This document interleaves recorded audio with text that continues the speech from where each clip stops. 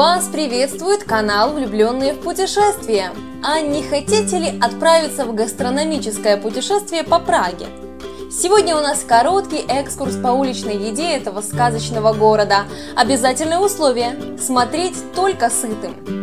Итак, первое место мы отдали традиционной холодной чешской мясной закуске зельц. Это сардельки-утопленники и маринованному сыру гермелин. Едят их исключительно под пиво, они острые, в них много уксуса.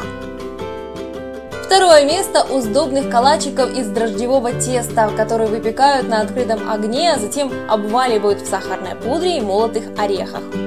Это всем известные трудельники. Продавцов трудла нетрудно найти на улочках чешских городов по сладчайшему теплому запаху свежей выпечки.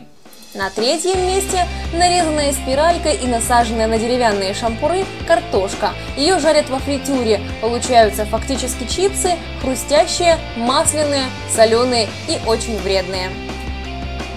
Четвертое место разделили старопражская ветчина и гарниры в виде утомленных на сковородке картошки, капусты и колбаски. Вы тоже уже слышите этот аромат? И, наконец, пятое место у брамбараков. Не пугайтесь этого названия. Это братья наших драников с ярко выраженным привкусом майорана.